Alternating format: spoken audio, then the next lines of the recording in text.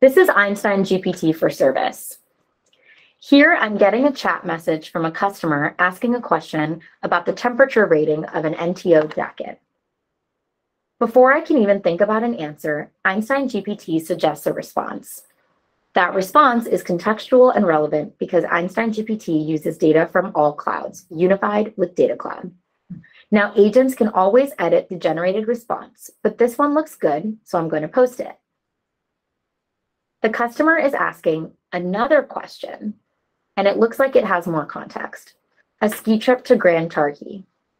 Again, Einstein GPT combines external data like weather conditions and CRM data to provide a relevant response and personalized recommendations. Before, agents had to look up knowledge articles, read them, extract the relevant information, and write the response in the chat. Now, Einstein GPT automates all these steps and automatically suggests the right response.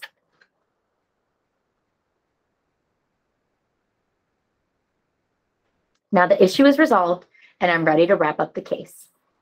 Einstein GPT automatically generates a natural language summary.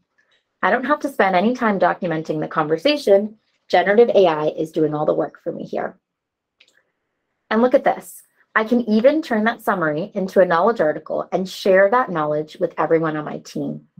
Einstein GPT makes agents more efficient and productive from customer interaction to knowledge creation and sharing.